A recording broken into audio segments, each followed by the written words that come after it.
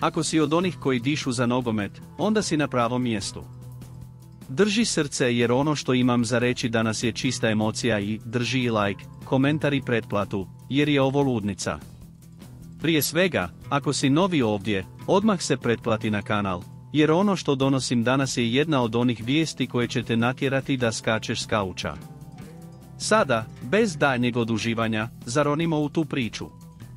Sjećaš li se našeg dečka, Niko Sigura? Onog virtuoza iz Hajduka koji je digao prašinu s nezgodnom ozljedom.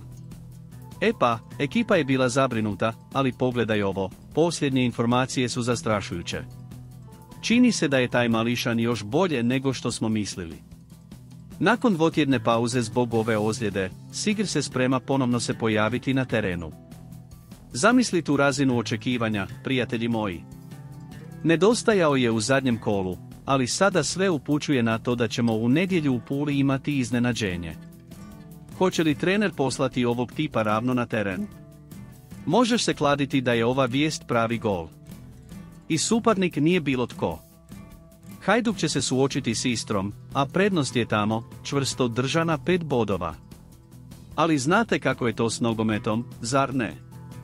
Svaka utakmica je bitka, a Hajduk ima povijest od četiri uzastopne pobjede. Pozdrav za Mislava Karoglana, koji vodi ekipu na besprijekoran način. Sigr, za van koji se ne sjećaju, ona je igrač s više vještina, koji je počeo kao desni bočni, ali se također dobro snalazi u sredini terena. A sada, s ovom mogućnošću da se vrati prije očekivanog, gotovo je kao da dobijamo pojačanje u zadnji čas. Hajduk mora držati stvari pod kontrolom, pogotovo s obzirom da je posljednja pobjeda protiv Istre bila u srpnju prošle godine. Ali vidiš, sigurom na terenu, nada je posljednja koja umire.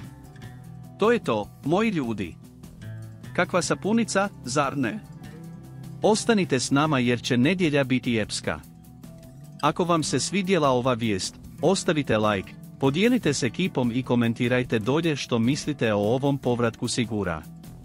I naravno, ako još niste pretplaćeni, pretplatite se na kanal jer nogomet ne staje, a mi smo ovdje da zajedno navijamo.